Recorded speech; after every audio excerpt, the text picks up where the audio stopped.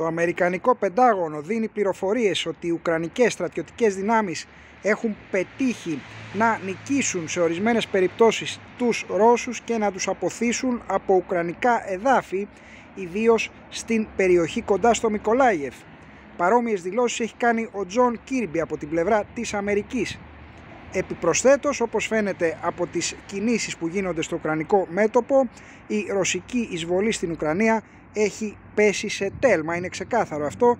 Δεν υπάρχει όχι ραγδαία προέλαση, δεν υπάρχει ούτε σταθερή προέλαση πλέον των ρωσικών δυνάμεων.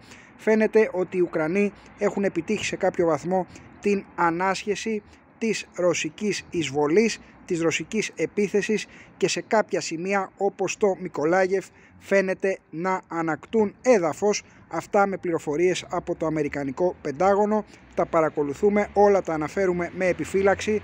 Περιμένουμε να δούμε αν θα επιβεβαιωθούν και από άλλες πηγές